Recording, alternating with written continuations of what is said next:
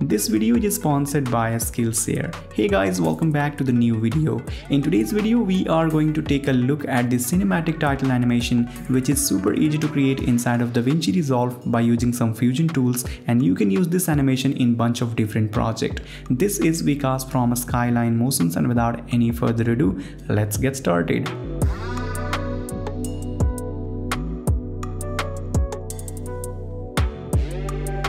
Alright, so here we are in DaVinci Resolve edit page and before we get started we have to do some basic settings. So click on this setting button right over here and set the size of this project 1920 by 1080. You can go with 4K as well and we have to select a frame rate. So in this case I am going with 60 frame per second which is a very high frame rate but you can go with any frame rate and click on save. Now I'm going to create this animation inside of this fusion page but before that we have to create a new fusion composition. So just go to this media pool right click on that click on this new fusion composition and you can call it anything. It doesn't really matter. And we have to set the duration of this composition maybe six second long which is very important and click on create. Now just drag this fusion composition on the timeline just like this and then go to your fusion page and inside of this fusion page we will get this media out node. So just drag this media out to the side for now. And for this animation we need only one viewer. So you can click on this single viewer and make it single. And after that let's start by creating a background node. So click on this BG button to add a background node. Drag this to the viewer and hit f2 on the keyboard. You can rename it properly. I'm gonna call it background hit ok and now let's attach a fast noise node. So hit control plus a space bar or shift plus a space bar and you can search for fast noise. So this is the fast noise node, hit add button. Hit F2 on the keyboard. I'm going to call it fast noise, which is looking good. And now drag this fast noise to the viewer and as you can see it's looking like this. And we need a background for this uh, fast noise. So this is the background. Now i'm gonna create a gray background. So select this background go to this inspector window just click on this color and let's select a gray color. Just like this hit ok. And now let's merge this fast noise with this background so we have to take a new merge node and inside of this merge node, as you all know, we have four different point. So the yellow point is for background, green is for foreground, this is the effect mask and this is the output. So I'm gonna connect this yellow point with this background and green point with this fast noise and I'm going to use this fast noise as a foreground and drag this merge one to the viewer and we will get something like this. Now let's do some setting with this fast noise. So select this fast noise node, go to inspector window and here we have to increase the detail value and I'm going to set this uh, detail value maybe 20. Let's increase the contrast and set it something around 3 and let's down the brightness value and I'm going to set this brightness something around negative 0.8 and now let's increase the scale value. So I'm going to set this scale value something around 2.5 which is looking nice. And as you can see we don't have any noise animation. So let's animate this.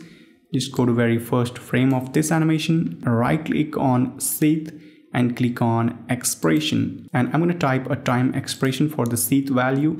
So let's type time multiply by 0.002 you can put this uh, time value according to your frame rate but in this case i'm putting this value 0.002 which is perfect for me as you can see. All right. After that let's create an animated mask. So for the mask i'm going to use this rectangle and let's attach this rectangle with this fast noise. Hit f2 on the keyboard to rename call it mask so this is the mask. Now select this mask. It means uh, rectangle tool and go to the inspector window and let's uh, rotate it and set this rotation value something around negative 25 let's increase the height value and I'm going to set this height value 1.5 maybe. All right now let's down the width value. So i'm going to set this width value 0.15 all right and now let's increase the softness. So let's set the soft edge value 0.2 which is looking perfect for me. All right and now let's animate this uh, rectangle. So let's place this rectangle right over here maybe and set this center x value 0.38 and placed it right over here. And go to on frame number 120 which is equal to 2 second according to 60 frame per second. Right click on center click on animate and go to on 4 second on the frame number 240 and uh, let's drag it on right hand side and set this value something around 0.5 alright so we will get something like this. And go to the end of this animation let's drag it on right hand side and set this value something around 0.75 all right and go to very first frame of this animation. Let's drag it on left hand side and set this value something around 0.25 all right and we will get this type of animation. But this animation is linear right now so we have to make it smoother. Just go to a spline window check this option displacement. Click on fit button. Hit F4 on the keyboard. Click on fit again. Select these uh, keyframes. Hit S on the keyboard to smooth. You can make this handle straight.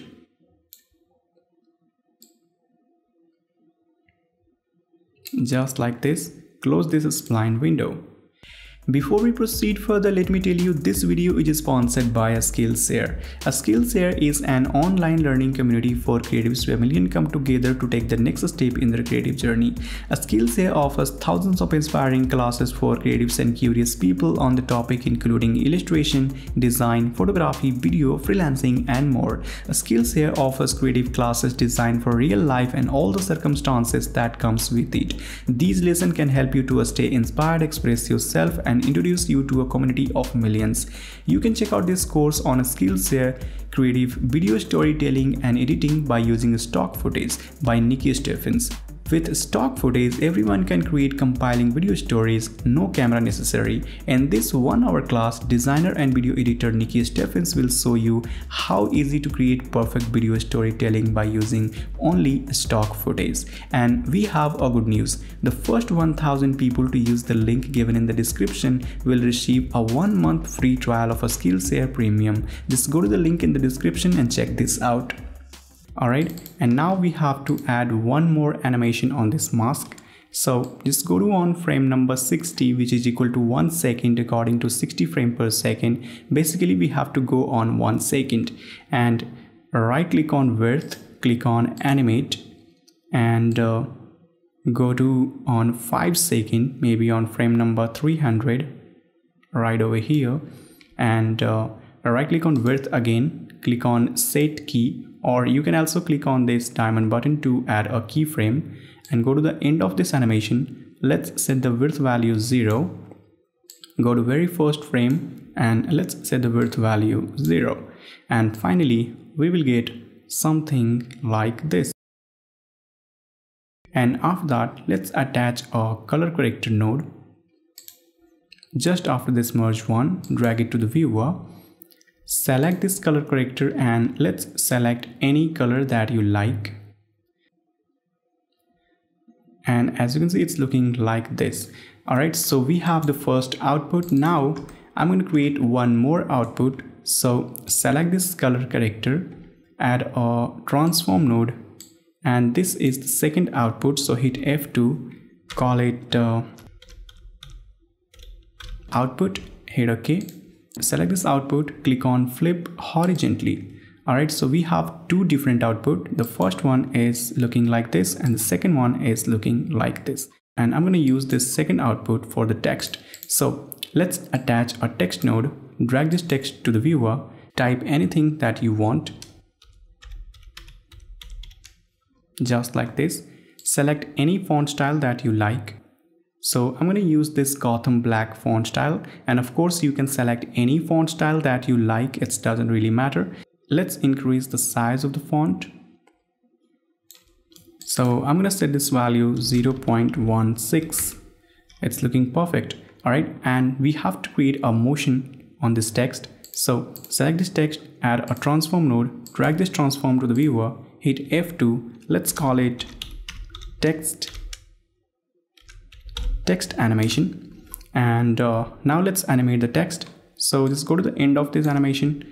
Right click on size click on animate.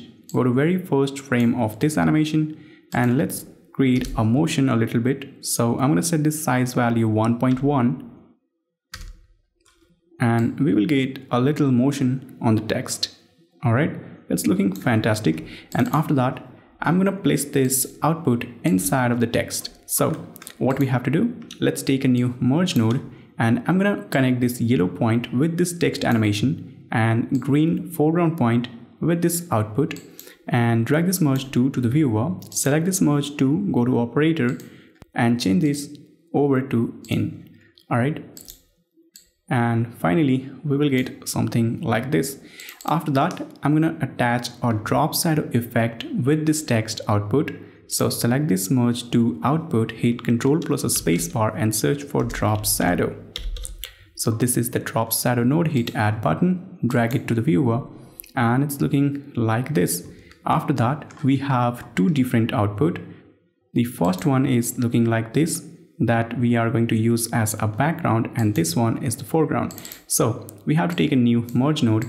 And let's connect the yellow background point with this color corrector output and green foreground point with this drop shadow output. And this is the merge 3 drag it to the viewer. And now select this color corrector and let's increase the contrast value a little bit. So I'm gonna set this value something around 1.35 and finally we have something like this which is looking very awesome and as you can see it is kind of a horror movie title animation all right you can use any horror font instead of this uh, Gotham. So select this text and I have a horror font style. So this is the 28 days later font style, which is kind of a horror movie font style, as you can see. So you can use this font style for the horror movie. Hit Control Z to go back. And now you can use any color for the text. So select this color corrector and here you can use any color. Maybe you can use this purple you can use this sky blue color you can use this green yellow red. And as you can see we have so many different type of colors. So you can use any color that you like and it's looking awesome as you can see and finally we have to connect this merge 3 with this media out and it's almost done. So just go to the edit page and here we have the cinematic title animation. You can do one more thing. Just go to timeline go to output blanking and click on these 2.35 and let's create an aspect ratio which is looking more cinematic. All right now you can create different variation by simply selecting this uh, fusion composition hit control C to copy hit control V. Alright now place the CTI on the second composition go to fusion page and here we have to select the text and you can use any different font style. So I'm going to use this cobalt black font style. Alright you can increase the size a little bit and you can use any color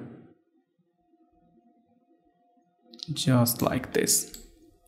All right and you can play with these settings so you can increase the tracking amount a little bit but it's looking fine. And then go to the edit page and as you can see we have the second variation of the text animation which is looking absolutely fantastic. All right and let's take a look. So just go to very first frame turn on the loop button and let's have a look Alright, so it's looking awesome and that's all for this tutorial. I hope you guys like it. If you like it, then hit the subscribe button, turn on the bell notification for more interesting videos. My name is Vikas and I will see you in the next one. Till then, bye bye.